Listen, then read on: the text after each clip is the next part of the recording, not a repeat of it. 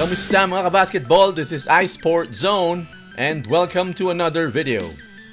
Game 2 mga kabasketball Western Conference Finals Portland Trail Blazers at Golden State Warriors sa isang laro na sinabi ni Steve Kerr na nanakaw nila sa Portland Trail Blazers dahil talaga namang ito na yung chance nila sana na makuha ang home court advantage. Gumawa ang Portland ng 18 3-pointers sa laro na to mga kabasketball habang ang Warriors na kilala sa kanilang 3-point shooting ay siyam lang. Bumawi ang Warriors sa inside points with 54 kumpara sa 32 lang para sa Blazers. 38 seconds remaining in the half, Damian Lillard with a step back 3. Gumawa siya ng 23 points at 10 assists mga kabasketball.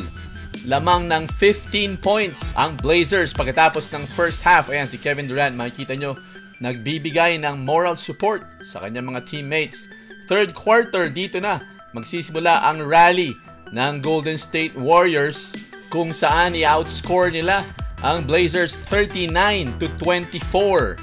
Kaya pagkatapos ng third quarter ay tabla na.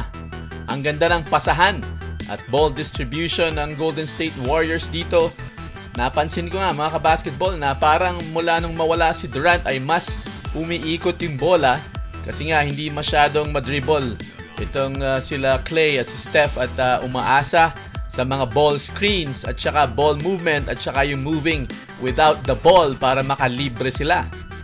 Fourth quarter, 10 minutes remaining, Damian Lillard with a long three. Di kita na ang laban mga kabasketball at ang Portland ay hindi naman bumibigay basta-basta. Sa third quarter, humabol ang Warriors gamit yung kanilang mga trapping defense kay Damian Lillard pero na-solve ng uh, Blazers ito sa fourth quarter pero yan nga, yung pasahan. Unselfish play ng Warriors led by Steph Curry with 8 assists and Draymond Green with 7. Last 2 minutes, lamang ng isa ang Portland pero mabubura agad yan ni Steph sa kanyang tatlong free throws.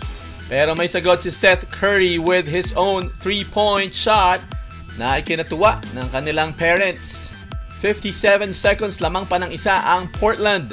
Pero itong isang key play na ito, Draymond Green na naman with the alley-oop to Kevon Looney. 7 seconds ball possession ng Portland. May pag-asa pa silang tumay pero ganda ng defense ni Iguodala kay Damian Lillard at nanalo nga ang Golden State 114 to 111.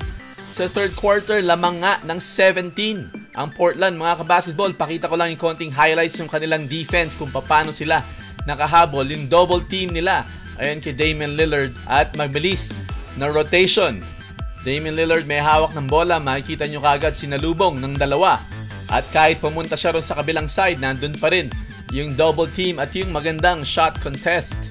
Dito magandang reaction ni McCollum pero bumalik agad itong si Iggy para dun sa kanyang uh, dinidepensahan. Dito double team na naman kay Damian Lillard at magre-result sa isang steal ni Kevon Looney at 2 uh, points para kay Steph Curry. May mga highlights din na binabantayan na match-up ng magkapatid na Curry. Si Seth Curry ng Blazers ay naka-apat na steals. Kasama nga itong uh, dalawang highlights na ipapakita ko dun sa apat na yon.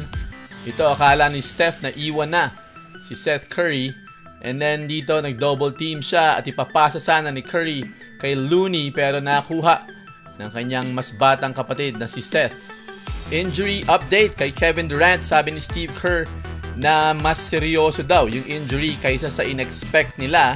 Kaya pinagpapahinga pa rin nila si Kevin. At sabi naman ni Brian Windhorst ng ESPN ay sa tingin daw niya na hanggang nananalo ang Warriors ay pababayaan lang nito na magpahinga at magpagaling itong si Kevin Durant. Ang tanong ko sa mga Golden State Warriors fans dyan ay uh, kaya bang mag-champion ng Golden State nang wala si Kevin Durant? Isulat lang ang inyong mga reaction or comments sa ibaba, like or share this video, and don't forget to subscribe to this channel.